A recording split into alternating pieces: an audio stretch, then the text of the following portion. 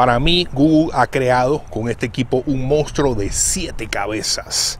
Definitivamente este teléfono es a nivel de cámaras lo que yo esperaba hace años uh, de lo que era un Pixel. Vamos a hablar del precio eh, por lo que ofrece el equipo, diseño, tamaño, pantalla, experiencia de usuario, desempeño, cámaras y lo que es su batería. Esta no es uh, de lo que es el twist, esta sí tienes que abrirla. Eh, y eh, vamos a utilizar lo que es nuestros vasos preferidos eh, la pones aquí adentro, le ponemos esta tapa y esta cerveza se mantiene fría por horas. Así que salud para todos ustedes. Bueno, mis amigos, primero comenzamos hablando de lo que es el diseño de este teléfono. Y yo voy a utilizar una expresión muy típica acá en los Estados Unidos que dice The beauty is in the eye of the beholder. Lo que quiere decir eso básicamente es que la belleza de algo siempre está en cómo es interpretada por la persona que lo está viendo. Al final cada cual tiene su opinión, cada cual tiene sus gustos y realmente viéndolo desde ese punto de vista, nada es feo o nada es bonito, dependiendo cómo lo veas. Yo lo que te puedo decir de este teléfono es que me gusta el hecho de que ahora es todo pantalla con un orificio extremadamente pequeñito en la parte de arriba. No hay obstrucción. La pantalla es AMOLED. Por otro lado, eh, prácticamente el teléfono no tiene marcos, como ustedes se pueden dar cuenta, ah, de abajo hacia arriba y todos los lados. Es prácticamente todo pantalla extremadamente buen trabajo el que hizo Google con lo que es el aspecto de relación de cuerpo por pantalla. Ah, por otro lado, a nivel del grueso, el teléfono es bastante delgado, no es eh, nada grueso. Eh, y ahí tiene una vista lo que es la parte de abajo. Aquí tenemos el botón de encendido, volumen en la parte trasera, el logo de Google, a lo que es su huella de escaneamiento y lo que es su cámara, dos cámaras una es el lente normal, la otra es el gran angular. Sacrificaron el telefoto este año, pero yo no tengo problema con eso. Prefiero mil veces un gran angular que un telefoto. En la parte de arriba un pequeño micrófono. El teléfono se siente muy bien en la mano y prácticamente todo lo que hagas con el equipo es extremadamente fácil uh, de manejar eh, con una sola mano. Por ejemplo, si nos vamos aquí al Android Market, antes yo no podía llegar acá arriba eh, y ver lo que eran mis aplicaciones. Ahora fácilmente lo puedo hacer con una mano. El teléfono es extremadamente fluido. Tenemos lo que es 90 Hz eh, de refresco de pantalla. Ah, por supuesto, eh, lo tiene de forma automática. Cambia entre 60 y 90. Ahora sí tengo que serte honesto, este no es necesariamente el tamaño de teléfono al que yo estoy acostumbrado.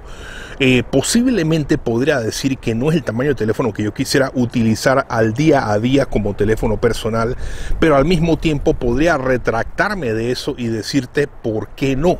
Es un teléfono muy cómodo, eh, no es pequeñito, pequeñito, pero tampoco es grande, lo puedes manejar 100% manejarlo con una sola mano. Tienes todo pantalla, tienes una pantalla bonita con 90 Hz de refresco. Eh, realmente, pues, ¿por qué habría que criticar uno lo que es a este tamaño? Aunque mucha gente, claro, estaban esperando lo que era un Pixel XL, 5XL, lo cual yo creo que no va a pasar. Puedo decir que realmente mi experiencia ha sido muy buena.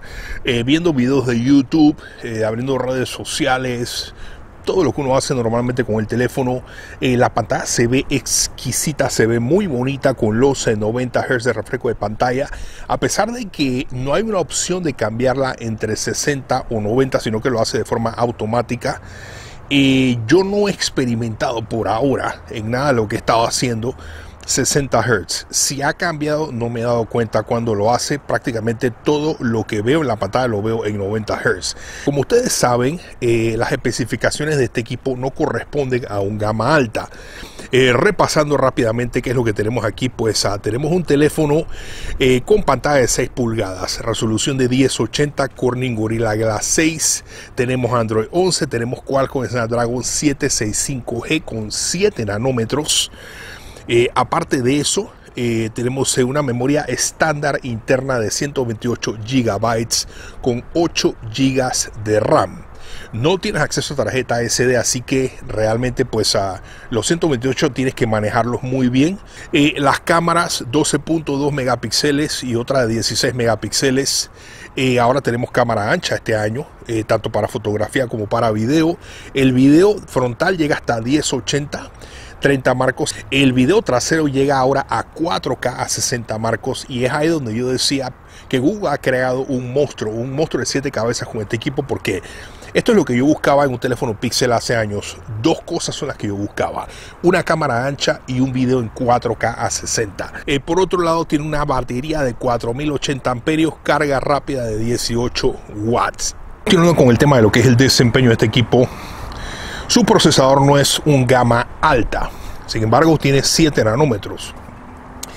Yo no te voy a hablar aquí de números de benchmarking, tampoco me voy a, perder el tiempo mostrándote números de benchmarking. Peño es que si este equipo puede mover video en 4K a 60 marcos, definitivamente el desempeño del procesador no es malo. Y más aún, nos hace hacernos la pregunta si este procesador puede mover videos en 4K a 60 marcos, nos hace hacernos la pregunta, ¿realmente para tener un teléfono que mueva videos en 4K a 60 marcos, necesitan un, Snapdragon eh, serie 8, 855, 865 o 865 Plus? Posiblemente no. Y recuerda que cuando pagamos por los teléfonos están incluyéndonos en el precio eso, un procesador de gama tope. Y esta es una de las ventajas de este equipo, que el, teléfono es mucho más económico, 699 dólares, eh, pero tienes una calidad de video de un equipo de gama alta. En términos de resolución, en términos de calidad, este equipo está a la par de los iPhone. Este equipo está a la par de un Note 20 Ultra, de un S20 Ultra, de un S20 Plus, de un OnePlus 8 eh, Pro, OnePlus 8T eh, 4K a 60, pero este equipo tiene un procesador eh, más económico eh, que va a rendir mucho más en batería eh, y que va a ayudar en lo que es el precio del equipo.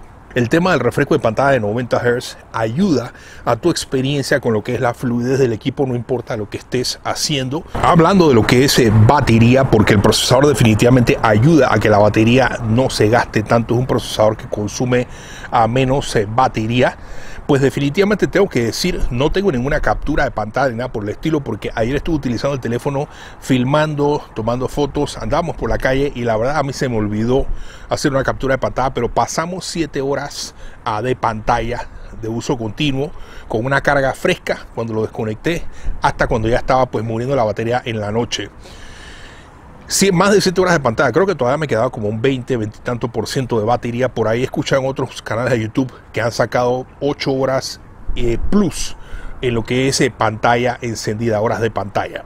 Eh, definitivamente esta era una preocupación en el teléfono Pixel 4 y 4XL del año pasado. Eh, de hecho, es posible que esta batería dure más que lo que te dure la batería de un Note 20 Ultra. Eh, un teléfono que cuesta 1200 dólares, que te filma en 4K 60 igual que este que tiene 120 Hz, este tiene 90 Hz, eh, fotos y videos.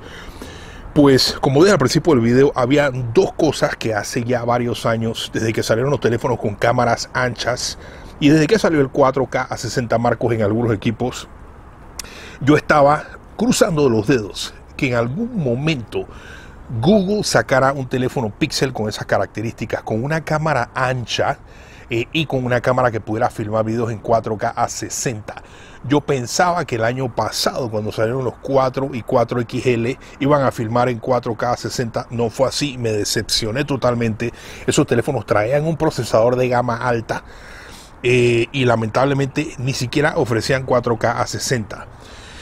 Entonces, definitivamente, pues Google ha cumplido mis expectativas y yo creo que las expectativas de muchos de ustedes que son fanáticos de los teléfonos eh, Pixel, que estaban en esa espera de una cámara ancha. Ustedes saben que la cámara del, Pixel ha sido por años la cámara que ha dominado el mercado de teléfonos en cuanto a mejor calidad de fotografía. Eh, y por supuesto uno se hacía la pregunta, ¿cómo será una cámara ancha en un Pixel si la cámara normal es una brutalidad? Y efectivamente ustedes han estado viendo lo que son los ejemplos que estamos pasando y la calidad es brutal. La calidad está al tope. El HDR excelente. Eh, por otro lado, pues a la cámara frontal tiene ese modo nocturno con la cámara frontal. Eh, la cámara frontal es bastante ancha, diría yo, no me quejo de eso. Eh, y tienes tu modo portrait, que siempre ha sido muy bueno con estos teléfonos y lo han mejorado todavía. He observado una gran mejora, mucho más detalle en lo que son las fotos. Igualmente eh, no tenemos esos errores que se observaban cuando hacías modo de portrait, eh, que, por ejemplo de repente se comía un pedazo eh, o, el pelo o algo en una esquina se comía cuando te hacías un modo portrait tanto frontal como trasero. Veo que eso lo han mejorado. Así que definitivamente pues a nivel de fotografía definitivamente no hay queja. El, el, teléfono está muy, muy bueno y ahora, como te digo, cuentas con una cámara gran angular para eh, poder, ¿verdad?, ayudarte en esos momentos donde estás en un lugar un poco cerrado y necesitas una cámara un poco más ancha. Eh, también tienes modo nocturno con lo que es eh, la cámara ancha, así que eso es una excelente noticia. Y por otro lado, pues entrando en el tema de video, bueno, ustedes vieron lo que son algunos blogs y comparativas que nosotros subimos de hecho, subimos una comparativa contra el iPhone 12 filmando en video, probando el HDR, probando la estabilización. Eh, yo diría que 50% de todos los comentarios la gente iba por el Pixel, les gustaba el video del Pixel. El resto decían que el iPhone, eh, definitivamente el Pixel jamás se caracterizó en todos estos años por ofrecer video ni competir con ningún equipo a nivel de filmación. Y el hecho que este teléfono hoy en día esté compitiendo con los grandes en lo que es calidad de video, estabilización, HDR, colores, definitivamente es algo grande, es un paso grande para Google, para los, para los usuarios de Pixel, para los fanáticos de este teléfono. Por su tamaño, por su portabilidad, lo pondría yo como en la categoría de la mejor cámara de bolsillo que puedes comprar al día de hoy. 699 dólares, tienes 90 Hz de refresco, tienes Google Android puro tienes un buen procesador de gama media alta que no consume mucha batería, vas a tener buena batería, tienes cámara ancha, tienes video en 4K a 60 marcos, eh, tienes excelente batería, tienes excelente desempeño, excelente aspecto de pantalla, grande, eh, el orificio muy pequeñito, Así que definitivamente un teléfono muy portable eh, que se puede utilizar para cualquier rango de personas, ya sea una persona con manos medianas hasta una persona con manos grandes, es fácil de manejar. Eh, realmente más pequeño que esto y con lo potente que son estas cámaras que solamente te lo echas a un bolsillo de una camisa, a una cartera a un pantalón y llevas contigo prácticamente la mejor cámara por su tamaño, no veo nada ahora mismo por el momento. Así que amigos, eh, son mis comentarios, mis impresiones, mi review del el Pixel 5.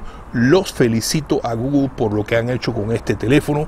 Definitivamente lo recomiendo. Compite en fotografía y en video con los grandes que cuestan más de mil dólares. Gracias por el video. Suscríbete por más. Sígueme por Instagram para que más preguntas. Seas mi amigo en Instagram y lo mataré con más. Chao, chao.